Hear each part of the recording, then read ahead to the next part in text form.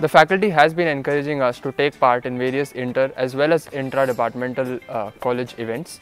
We are also provided with extra credits uh, for students who are involved in sports.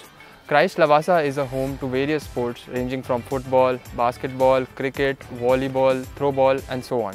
From the traditional grass grounds to the multi-purpose turf courts, we have it all at Christ. Being a sports person since childhood, I've always invested myself on grounds than on indoors.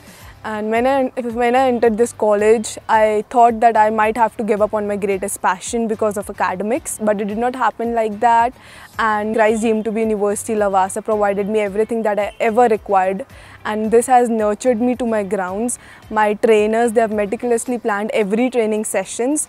And this has been a great journey and it will be a great journey. I have given my best and I'll be giving my best throughout. It was a better experience that I have ever expected in my life.